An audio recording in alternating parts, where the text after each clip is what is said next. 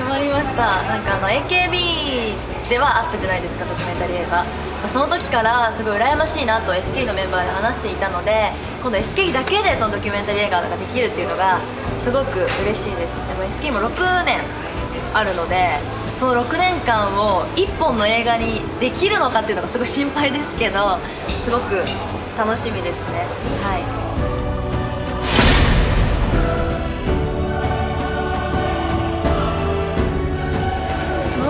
ねなんか普段私たちいつもメイキングに映っててあまり変に意識はしてないのでなんか逆にどんなこと言ってるかももう分かんないだろうし忘れちゃってる部分もいっぱいあるからなんかそれを見るっていうのは怖さもあるしでもその時自分はこう思ってたんだっていうなんかそういうのも分かるしみたいな。こんなに道のりを歩いてきたんだっていうのがすごいなんかジーンときたので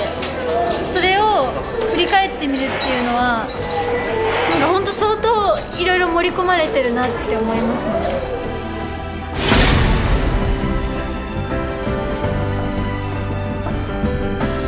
ありがとうございますいや NMB48 ももう4周年を迎えましてこの4年間とても4年とは思えないぐらいいろんなことがあったのですごい内容が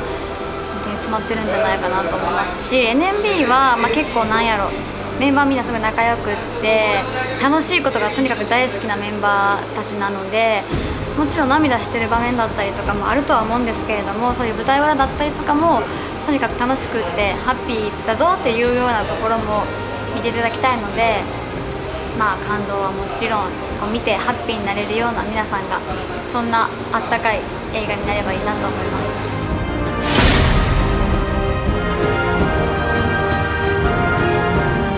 どうだろう？HKT のメンバーは一生懸命の子が多いのであのー、あまりに一生懸命すぎてこの間泣きながら鼻血を出したメンバーがいるんですよ。そういう子とかいるいるしあの HKT が意外と頑張ってるところとか見てもらえたらなと思うのとあと AKB の映画は基本的に映りが良くて羨ましいのでまだ監督にお会いしてないんですけどすごい盛れるカメラで撮ってもらえたらなと思ってます。私自身絶対に見に行こうと思っています。ぜひ見に来てください。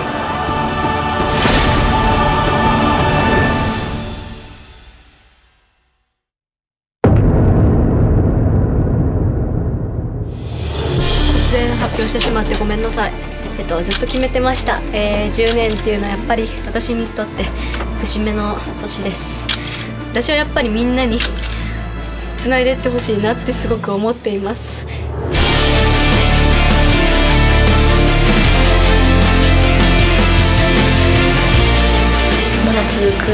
思ってるし続けていきたいなと思ってるあこのままじゃいけない。何かやらなきゃなって。高見な具合悪いんだからふざけんじゃねえぞ。今後どうしていっていいかわからないです。私は絶対に負けません。大丈夫です